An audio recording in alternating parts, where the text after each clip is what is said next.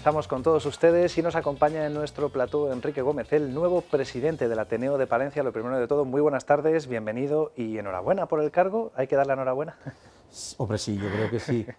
Buenas tardes, muchas gracias y yo creo que sí que es motivo de, enhorabuena. ¿Qué iba a decir sino un presidente? Todavía me suena un poco raro cuando, cuando lo decís, pero que iba a decir un presidente de una institución si no dice que está de enhorabuena por presidir esa institución. Sí, sí, es una enhorabuena. A veces es cierto que en otro tipo de entidades cuesta encontrar a alguien que se ponga la cabeza y que tire del carro. Mm, probablemente no sea el caso del Ateneo, pero sí es verdad que cuesta que alguien eh, se arremangue y se ponga a tirar del carro en esta situación. Quiero decir que no, no, no creo que estuviese previsto tener que enfrentarse a, esto, ¿no? pero bueno, pues las circunstancias son las que son y hay que encararlas. ¿no? Es verdad, no estaba previsto. Yo no lo tenía, no lo tenía previsto. Eh, porque bueno, el anterior presidente, Fernando Martín Aduiz, que estaba haciendo un trabajo fantástico y, y, nadie queríamos que dejara la presidencia, porque cuando tienes a alguien que lo hace bien y lo hace muy bien, como ha sido el caso, pues lo que quieres es que siga. y además yo estaba de vicepresidente y en una posición mucho más cómoda en ese sentido. Pero bueno, él estaba muy, muy convencido de, esta, de este principio que está incluso en los estatutos, en el preámbulo de los estatutos del Ateneo, de la permutación de cargos, también como una forma de que la institución o un grupo se mantenga en una mejor, vamos a decir, salud, entre comillas, y bueno, cuando lo dijo, pues eh, había que continuar con la tarea y bueno, pues aceptamos. Yo creo que en este caso conscientemente y con ganas de seguir adelante, sí. Claro, quizá Enrique esa filosofía favorece precisamente la implicación de probablemente no todos y cada uno de los socios, pero sí de un buen número de ellos. ¿no? Quiero decir que al final no se deja todo a una persona y el resto de los que la acompañan ¿no? en esas responsabilidades y el resto disfrutamos de su trabajo, sino que en este caso probablemente hay mucha gente que aporta y que, y que decide también empujar, ¿no? Sí, desde luego. Yo, ya que lo mencionas, pues si me lo permites, a veces hay que pasar por estos capítulos de los agradecimientos, que de verdad que no son agradecimientos eh, que se hagan por hacer, sino que son agradecimientos sinceros, de verdad, muy sinceros. Por supuesto, a, los miembros de la Junta Directiva que están conmigo ahora, los otros 13 miembros, que dijeron que sí inmediatamente. No dudaron nada. Cuando les dije, tenemos que seguir, es un momento difícil, estamos con el COVID, hay una readaptación, hay una situación social muy compleja, y bueno, esto no podemos, lo hemos reiniciado, la refundación fue en el 2016, finales de 2016, no podemos permitir que esto se nos caiga. Y, y desde el primer momento quisieron apoyar apoyar y estar conmigo, con lo cual, desde luego, un agradecimiento a ellos. Eh, yo soy un poco la cabeza visible, ¿no?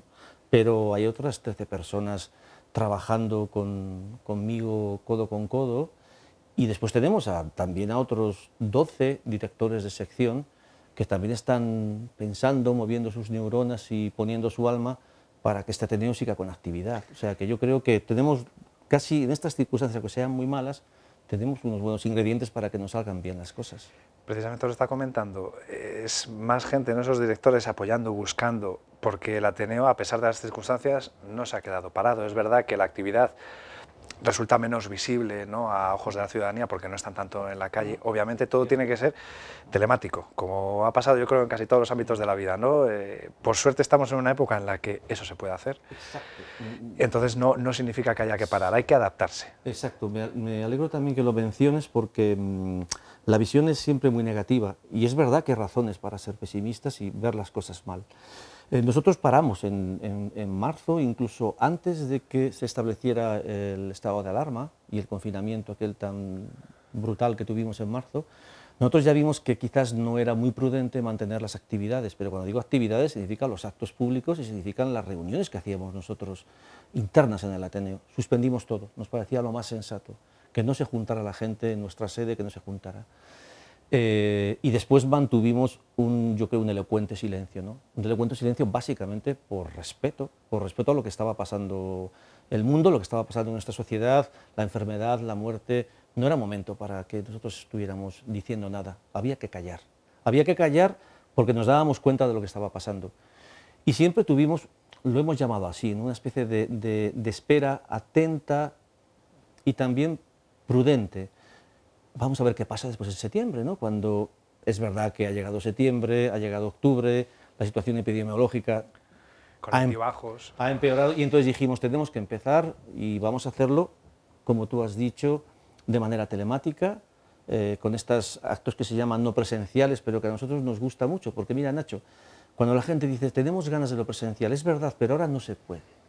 Yo me voy a quedar con una frase que oímos el otro día en un acto de Ateneo, del Ateneo, eh, a ver si la recuerdo, cuando lo óptimo no es posible, lo posible es lo óptimo. Lo dijo una persona, bueno, es lo que hemos hecho, ¿no? Ahora es lo que podemos eh, realizar, seguir haciendo actos a través de la red, pero yo digo muchas veces, no está tan mal, Eviden- evidentemente las, las nuevas tecnologías nos lo permiten, pero no decimos que la televisión nos hace mucha compañía y no nos estamos tocando, no decimos que la radio nos hace mucha compañía y ni siquiera nos estamos viendo, ¿no? Y escuchar una voz hace que nos sintamos más acompañados. Bueno, nosotros tenemos ahora estos actos con la pantalla desde nuestra casa, pero yo creo que también hacemos un, trabajo de compañía, un trabajo de cierto lazo, social, aunque no podamos poner los cuerpos como muchas veces nos gustaría. Vamos hacia actos híbridos, lo tenemos clarísimo, hacia actos en los que cuando podamos poner el cuerpo lo pondremos, pero también habrá una difusión a través de, las, de Internet. Es decir, que esto ha sido, esto ya sabemos todos que ha acelerado este, este camino por el que íbamos a ir sí o sí, y ahora no queda otra, así que actos eh, online y actos eh, en el ordenador. Estaba pensando, me estaba sonriendo también porque me estaba acordando de una persona que conozco y que, hablando de la situación y de que probablemente haya sido la mejor época para vivir esto, decía, es que imagínate que nos hubiese pasado hace 40 años, nos habríamos pasado el día viendo la 1 y la 2, decía con sorna, dice, porque no tendríamos todo el amplio abanico de opciones que tenemos ahora, de canales de televisión, de radios, de, por supuesto, todas las plataformas digitales y sobre todo Internet. Habríamos tirado de teléfono, obviamente, pero no habríamos podido vernos. Exacto. No sé si habría sido mejor o peor ¿eh? en todos los sentidos, porque a veces quizás estamos so- sobreinformados y sobreestimulados, pero es verdad que es una época en la que eh, es la mejor época para, estando incomunicado, no sentirse incomunicado. Desde luego, yo mm, definitivamente en este sentido soy muy optimista. Incluso que tengamos un exceso, aunque podamos pasarnos, aunque podamos tener demasiada información, demasiados actos, es verdad, puede ser verdad, pero desde luego si me, eh, si me dicen que tengo que elegir, elijo esto, porque, insisto, podemos mantener un cierto lazo, un, cierto lazo social, una cierta actividad de este tipo de, de- de- de instituciones, de grupos culturales, lo podemos seguir haciendo, podemos seguir eh, organizando cosas para los socios, para la gente, que muchas veces te lo piden también, porque es que estamos todos un poco también hartos, cansados de tanto COVID, de tanta enfermedad, de tanta desgracia. Si por una hora podemos hablar de un libro, de un autor, podemos hablar de ciencia, de literatura, de arte, pues yo creo que, que bienvenido sea. Yo estoy, de verdad, dentro de la situación que es terrible, pero estoy encantado de que la tecnología nos permita hacer estas cosas. Claro, estaba pensando también que, eh, habiendo sido vicepresidente, la línea, vamos a decir, de, de actuación al frente de- del Ateneo va a ser, o puede ser, eh, continuista, ¿no? con, con la línea que se había llevado y que, como comentábamos también antes, ha hecho que el Ateneo estuviese muy presente en la ciudad y que a base de organizar muchísimos actos, la gente lo tuviese muy presente, incluso como referente, ¿no? en cuanto a, a personajes que traía, en cuanto a temas que se abordaban y que, y que de alguna manera se debatían, ¿no? para, intentar no directamente a lo mejor dinamizar la ciudad, pero sí contribuir también. Sí, bueno, por supuesto, es verdad. Eh, eh, bueno, dinamizar la ciudad, nosotros cuando empezamos con el Ateneo dijimos que no era un, a ver si recuerdo, no era un Ateneo o una ciudad que estaba esperando al Ateneo, no íbamos a ser la salvación de nada, era casi un Ateneo que estaba esperando una ciudad. Parece ser una ciudad muy dinámica, a pesar de lo que se diga. Casi cada día tienes un acto cultural y no solamente lo hace el Ateneo, yo creo que es mucho más rica que lo que, lo que pensamos. Sí, nosotros hemos venido, hemos venido, dijimos, hemos dicho siempre desde el inicio, aquella frase un poco grandilocuente, pero que es cierto, de agitar la vida intelectual de Becerro de Bengoa. Por ahí vamos. Eh, ¿Va a ser continuista? Mira, una frase de Deleuze, el filósofo, ¿no? Siempre hay algo de la repetición y siempre hay algo de lo nuevo. Es decir, sí, por supuesto, vamos a seguir haciendo lo mismo en aquellas cosas que funcionan muy bien. Eh, Yo creo que el Ateneo ha conseguido posicionarse en la ciudad de una manera muy correcta. Es posible que sea, es cierto, un cierto referente. Sigamos por ese camino, pero por supuesto va a haber ciertas novedades. Una ya la estamos comentando, como es pandemia que nos está obligando a todos a cambiar el paso. ¿no? Sí, eh, mm, queremos ser un Ateneo del siglo XXI y no queremos quedarnos siempre en el mismo sitio. Habrá algo de la continuidad y habrá algo de la novedad, sin duda. ¿Y en qué trabajan ahora mismo teniendo en cuenta pues, esas limitaciones y, lo que permite las nuevas tecnologías hacer? ¿Hasta dónde pueden llegar y sobre todo en, qué líneas están pensando para seguir estando presentes y seguir aportando a la ciudad de Palencia? Bueno, pues estamos en un momento, ya desde octubre del otro año empezamos en una actividad que yo creo que podríamos definir un poco de frenética, porque hemos llegado a tener hasta cuatro actividades en una misma semana, de estas online, ¿no?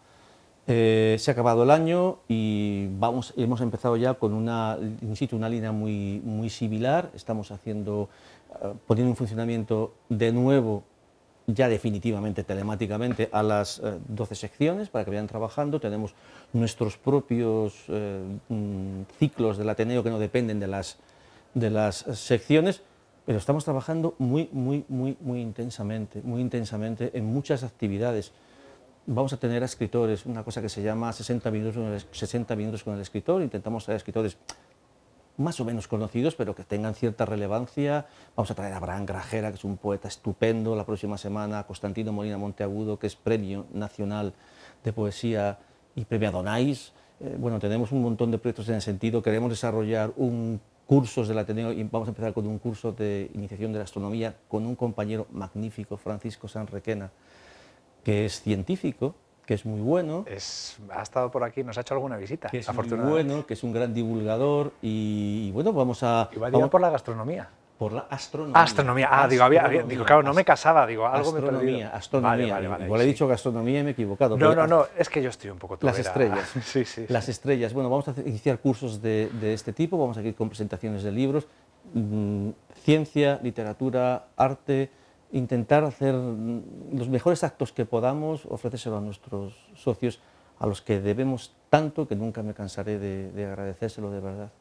Bueno, yo creo que nos queda precisamente, Enrique, después de todo lo que hemos contado, decirle a la gente cómo puede seguir esa actividad del Ateneo, cómo puede incluso llegar a hacerse socio y formar parte de este gran conglomerado. Es fundamental. Segundo agradecimiento, si me lo permites, es que lo tengo que hacer, porque es que es cierto, en un año tan difícil, ya lo hemos repetido muchas veces, que haya habido tan pocas bajas por parte de nuestros socios, que ya prácticamente llegan, yo creo que estamos en 600 socios, o algo más de 600 socios, no sé cuántos ya, 630 y algo, el último carnet que dimos, eh, no ha habido casi bajas. Somos el Ateneo, lo decimos siempre, en proporción con la población total, el Ateneo más numeroso de España.